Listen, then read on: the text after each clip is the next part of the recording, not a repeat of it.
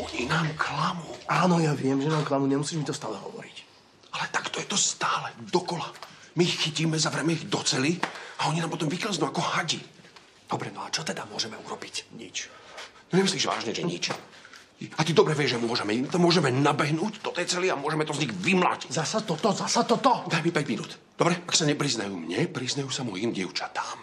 Akým dievčatám? Pravačky, lavačky, počúvaj, budú spievať ako škovranky. Ako náhle ty zoznámiš so svojou právačkou, ľavačkou, tak ťa Vašo zoznámi s hodinovou výpovedou. Ale jasné, že sa to Vašo nesmie dozvedieť. Nesmie. To je moje posledné slovo. Počúvajte. Čo keby sme im dali sérum pravdy? Ty o čom hovoríš? No, to som videl v jednom filme. To normálne niekomu pichneš do žily a on ti potom vytára úplne všetko. Ty, ale to je dokonalé. Kde sa to dá kúpiť? Tak určite na internete, veď tam je Objednaj- všetko. Objednaj veľa. Šaňo, Pres, objednaj. prestan, nejaké obie... Polož ten telefón, prosím ťa. Musíte vedieť, že toto je nezákonné. Oni nám Klamu!